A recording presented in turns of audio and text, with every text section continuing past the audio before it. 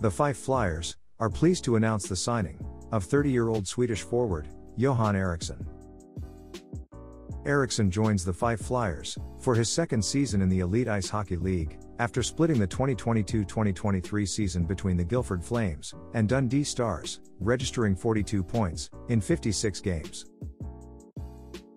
The 6 foot 1 inch, right shooting forward, has spent most of his hockey career in his native Sweden, racking up 204 games, with 107 points, in Hockey Allsvenskan, and 143 games, totaling 150 points, in Hockey, Eden. Eriksson has also iced in the EBEL, seeing out the 2018-2019 season, with Villacher SV, and icing in France's top tier with Chamonix, during the 2019-2020 season, where he registered 18 points, in 22 games. On the signing of Johan Eriksson, coach Tom Coolen commented, Johan is a proven scorer.